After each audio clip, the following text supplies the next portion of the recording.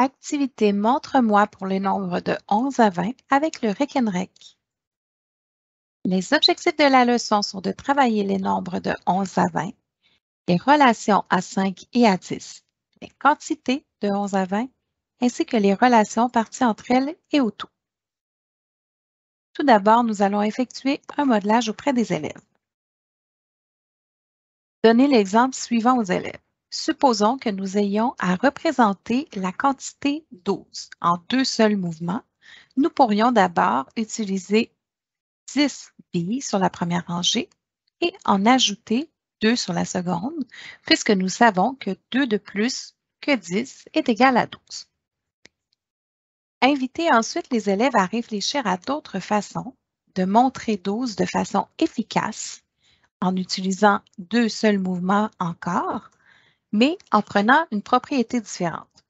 Par exemple, nous pourrions utiliser 6 billes sur la première rangée et 6 billes sur la deuxième rangée, puisque nous savons que le double de 6 est 12, ou encore, on peut bien observer les 10 billes blanches ainsi que les deux billes rouges.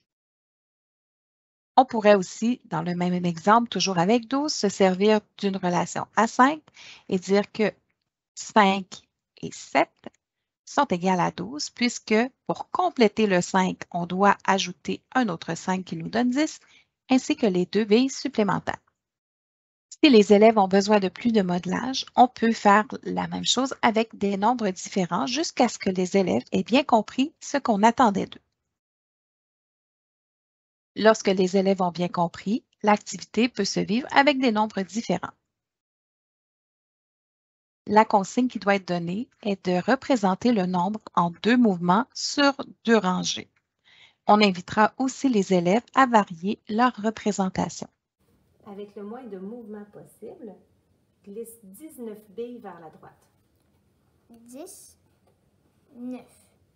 10 plus 9 égale 19. Comment tu as fait pour savoir que c'était 9 aussi rapidement?